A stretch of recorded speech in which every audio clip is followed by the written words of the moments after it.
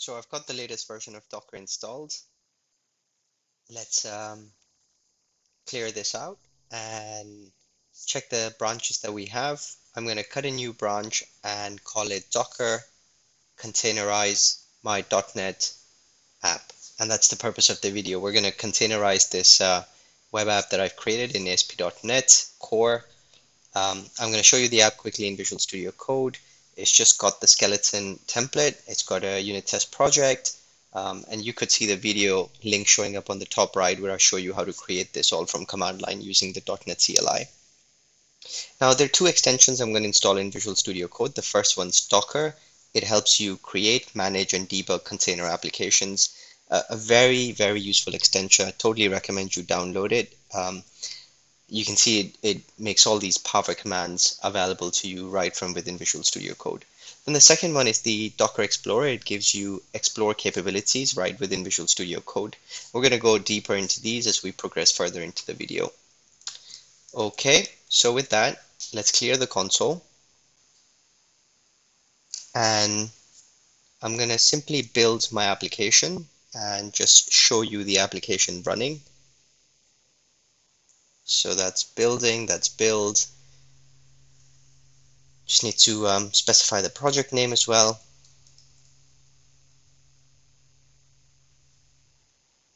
And with that, we're running the application. So let's just take that address into a browser. And there you go. That's the vanilla.NET app. Now next up, we're going to look at how we're going to containerize this app. So we'll start off by creating a Docker file and go through the process of doing that.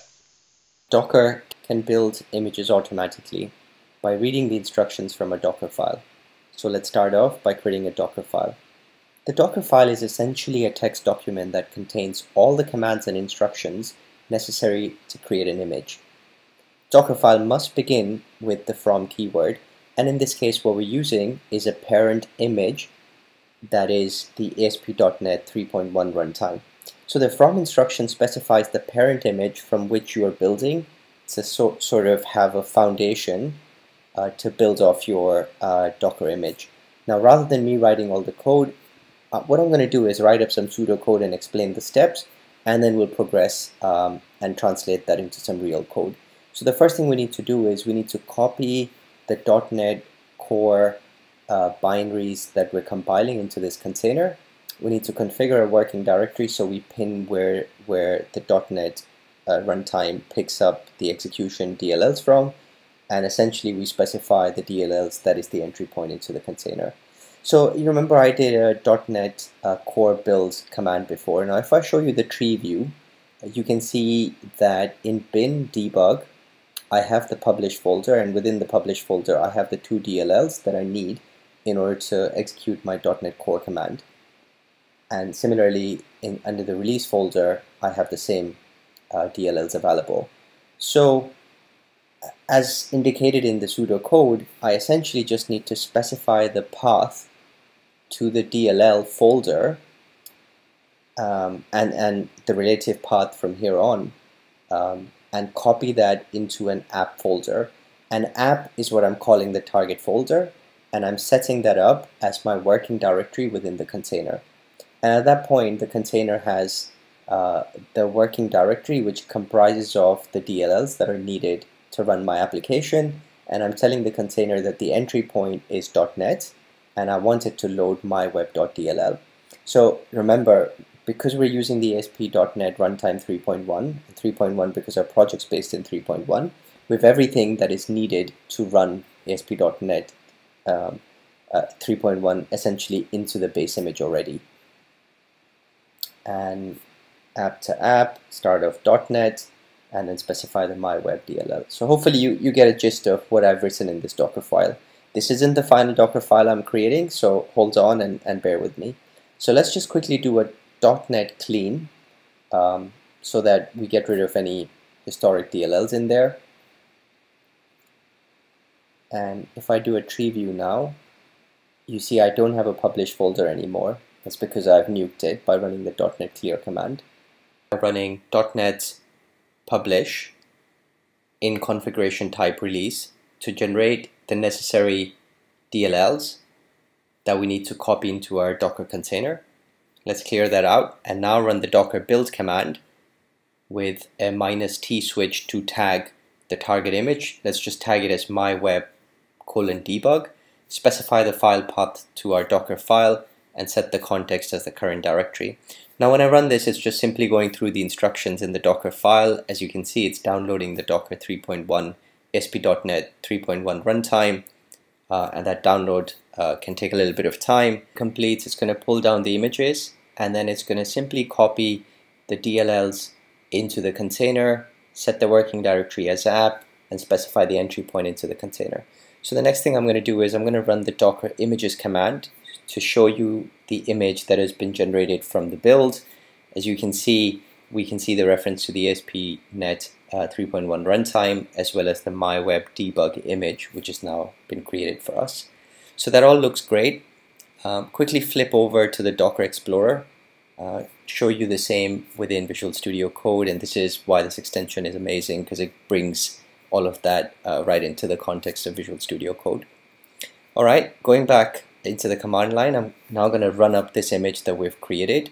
I'm going to use the docker run publish um, command and here I'm publishing the command and mapping port 80 from the container into port 8080 of my local machine. I'm going to run the container in detached mode, more on that later, give it a name my web and then specify the tag of the image that I want to run. Now at this point the container is running um, and it's not evident to you right away and you're like but where is it running let's flip over into a browser and navigate into localhost at the port 8080 and you remember port 8080 is what we mapped into the container image port 80 I'm gonna run the docker logs command and show you the logs from my web container. And you can see we can see right away that uh, it's running the ASP.NET application. So let's terminate this. And here's where I will explain you why the detach keyword was important. Now if I go back into the browser and I refresh it, hey, this container is still working, but I terminated it on the command line.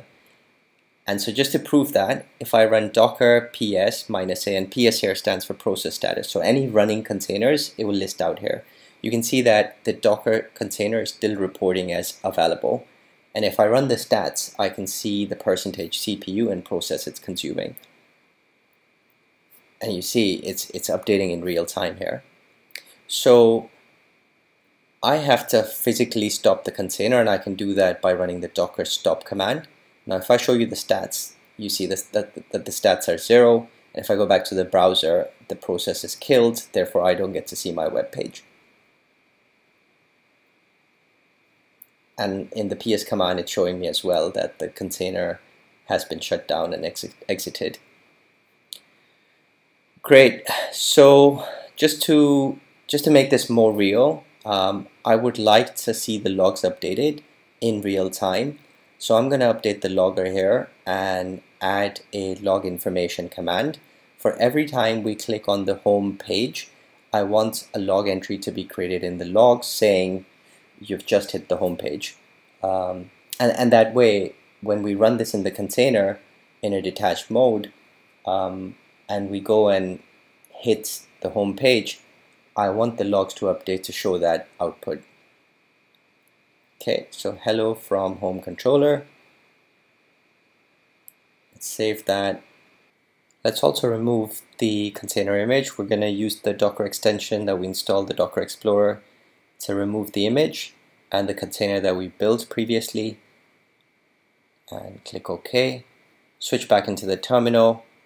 I'm going to run the .NET publish command again so that the code changes I've made are consumed in the new DLLs that are generated.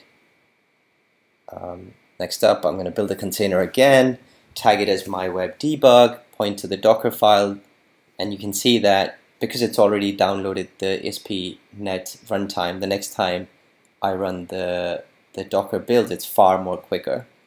Okay, we're going to run the same run command, map out process 80 in the container with 8080 locally, and then let's just run the docker ps minus it. So you can see that the container is now up uh, and reporting is available. So let's look at the logs for the running container and you can see it's it's there. Now if I hit the home page a few times you can see that the logs are updating in real time. Again you can see it's just saying hello from home controller. Cool, so I'm going to stop the container, docker stop my web and you can see that that's what's reported in the ps minus a status as well that the container's been exited. So let's clear that out. So, so far we've just created a very basic container that depends on us locally running uh, .NET release, but that's not uh, that's not where we're going to stop. We're going to make this really sophisticated.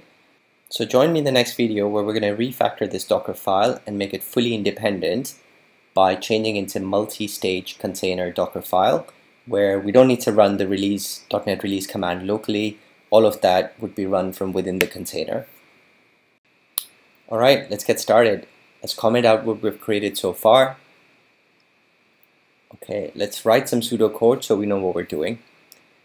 Um, well, essentially what we have to do is we have to create uh, a base image. And in this case, we can still use the ASP.NET runtime base image.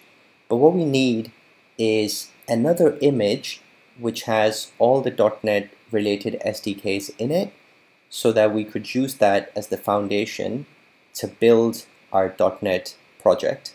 Okay, so in this build phase, we're essentially going to copy the .NET uh, project CS files and restore any NuGet package dependencies we have, again, all within that container.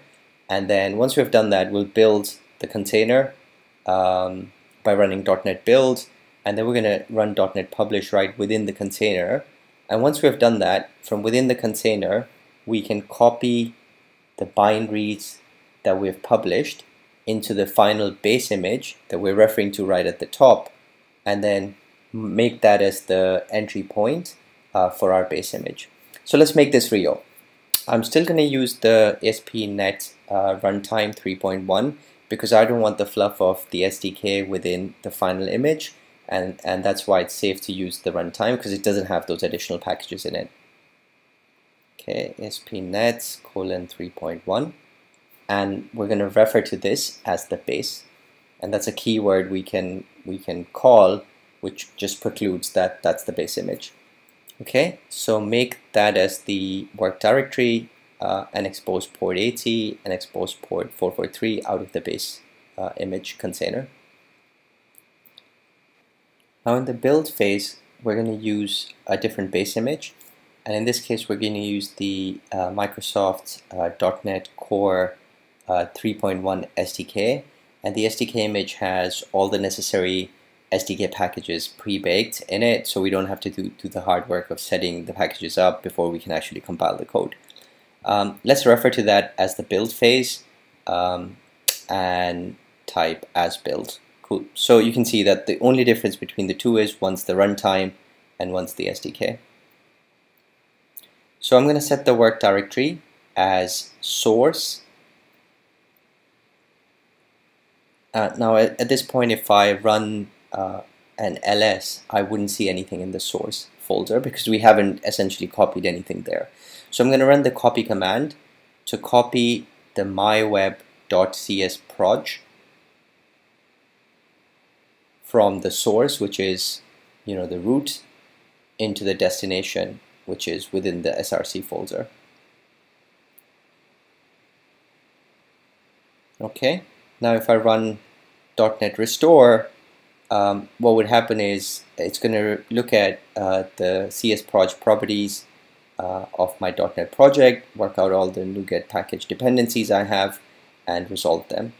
Now I'm simply saying once you've done that, copy everything in the current directory at source into the current directory at target, and I will set uh, source forward slash my web as my current working directory so that uh, if I run .NET build now, everything within that uh, myweb folder gets built. Uh, and in this case, the only thing that we have there is the myweb.cs project. So we're going to run that in the release configuration and output it into a forward slash app forward slash build folder. So with that done, um, we're going to run. Now this is the beauty of the multi-stage containers. Because in this case, I'm able to refer to the container that I've created in the previous step. And the container that I've created in the previous step, I refer to that as build. So in this next step, I'm just saying, take that very container and run the .NET publish command in there. And see, the benefit of doing that is I don't need to copy the csproj file and restore it. I've independently just done that in the previous step. And in this step, I'm able to extend it by simply referring to it. Okay, so we've run the .NET publish command now, and we're tagging this phase as the publish phase. So now what I'm going to do is I'm going to say from base, which is the very first step in the container file, uh, tag that as um, as final, uh, set the working directory as app, and now copy from the publish stage, um, you know, this folder which is called forward slash app forward slash publish um, into the final container. And with this, you know, the final container is very undiluted. All it has is the .NET runtime and these additional binaries which with the interim steps we've uh, compiled. Um, and, and remember, because we've done it in the interim steps, we don't have any SDKs or any additional packages that have now needed to be carried forward because everything that we need is just in the runtime. So overall, the image size of the container that gets built isn't bloated now because it has all these additional SDK files.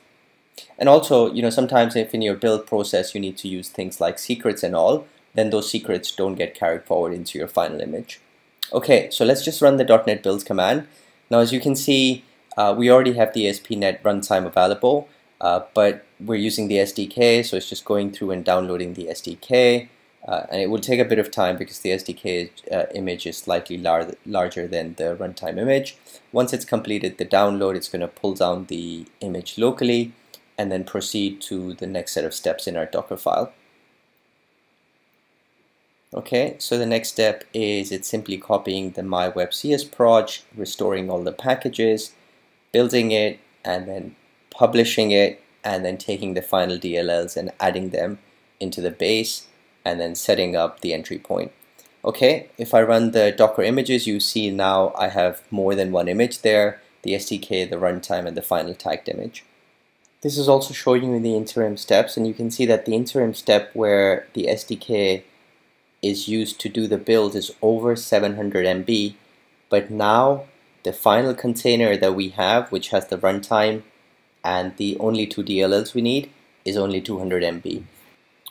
Alright, let's run this container up now. So I'm simply going to use the docker run command, map the process of port 8080 locally to port 80 on the container, give it a name, let's call it myweb, and map it to myweb.debug um, container tag. Okay, you can see that the logs show up right now. Let's flip across to the web page and hit the home page a few times. If we come back, happy days, right? It's um, we can see that the logs are updating and we can see the home page. So same output as the previous phase, but the multi-steps allow us to have an all-inclusive Docker file that's independent and self-contained. Alright, so next up we're going to move into the final stage of this demo where we're going to look at how we can build and publish container images into Docker Hub using Azure DevOps. So I'm going to show you a git status. You can see that the changes I've made to my branch are uncommitted. So I'm going to stage the changes by running git add dots, commit the changes. Let's just give it a commit comment of docker initialize. As we have dockerized our file now, it's all containerized. Let's push the changes up to the server and let's clear the terminal. If we go back into Azure DevOps, um, and if I take you directly into the Azure Pipelines page, let's select um, the pipeline that we pipeline file that we have already, the YAML file, um, and nuke that away. We're going to start fresh. Um, and in this case, we're only going to include the branch which we have created, which is the docker forward slash containerized my.NET app branch ex exclude the master branch for CI triggers and we will batch all the changes. Again, you know, I cover all of these concepts in the previous videos, so uh, feel free to um, check out the other videos on the channel. So I'm going to use the uh, Ubuntu pool um, and I'm going to just use the build configuration variable in mode release Uh, now the out-of-box library in Azure DevOps has tasks for Docker and that's exactly what we're going to use. So just to quickly show you that the Docker task has all these steps um, out of the box available. Um, so we also have the option of securely setting up a connection to our Docker registry. Now in this case, we're simply going to use the open source Docker Hub registry. If I show you in the connection string, that's the page. So let's just quickly create the Docker Hub um, reg registry. Um, so I've just created the registry. I'm going to create a new repository in there. I'm going to call it my web. Just going to leave it as a public uh, repository for now. So come back into the connection page and we can search for Docker registry. Um, and let's just set up the credentials needed to authenticate against the registry. And these are encrypted and secured um, within Azure DevOps. Uh, the beauty is they integrate right away within Azure YAML pipeline, so you don't need to manage that encryption and that integration uh, using uh, some bespoke code. Okay, so with that done, I'm going to come back um, and just quickly refresh this so it picks up the connection details. So go back into the Docker task. Now you see I can see the container registry and the connection string there. I'm going to just specify the name. I'm simply going to use the build switch for now and leave all the defaults in there. And the defaults are simply pointing to the Docker file location and the rest of the logic is essentially within the Docker file location so we, we needn't specify anything more here. Um, we could have just used the build and publish command but instead I'm showing you two steps separately uh, just to show you the use of variables as well. So this step, let's just use push, leave rest of the defaults in there. Now you see, we've hard-coded the registry name and the repository name. I don't like that, right? Instead, I'm going to use the variable section for this. So let's just create a variable called container underscore registry underscore string. And then let's create another variable called container underscore repository underscore string. And the repository that we've created is called iWalkman. And the name of the service endpoint is called mywebdockerhub. Okay, well we can now take these variables and substitute them for these hard-coded values. So I'm just going to do that across the two tasks. Using variables is always a better option, right? Because it's it's you're not going to make the typos that you would make if you constantly type the hard-coded values across the, the board. Okay, let's save this uh, pipeline. Let's call it initialize docker azure pipeline. So that's saved. I'm simply going to rename that as Docker day one and keep coming back because I'm running this challenge for seven seven days, right? So there's going to be seven days of uh, Docker videos for you to, to look at. Okay, let's run this pipeline and we can see that the Azure pipeline's triggered. It's initialized the job. Now it's running the Docker step. So it's taking our Docker file and simply working through it um, and downloading the SDK and then doing our multi-stage container build. Um, like we saw in the previous step, it's copying um, the compiled DLLs uh, from the publish folder across into the final folder and making that as the final image. And with that, our image should almost be ready. Yes, it's ready now it's working through the publish process so it's it's going to use the service connection endpoint here to securely publish the image up to Docker Hub. And in this case the image is tagged uh, as well so we've got a two-way relationship. We can see where it came from and come back to the pipeline and work that out. So you can see uh, Docker Hub now has our image in the registry and we've got the SHA. If I come back into the step I can show you that's the unique SHA that got generated when we build the image so fantastic, right? Um, that's that's all for, from me in this video. We've covered uh, the basic concepts of Docker. We've seen how to create a basic Docker file locally. We've seen how to write a multi-stage container and now how to use Azure pipelines to securely publish, build and publish container images to Docker Hub. And that's all from me. I hope you enjoyed the video. Don't forget to subscribe and comment. See you in the next video.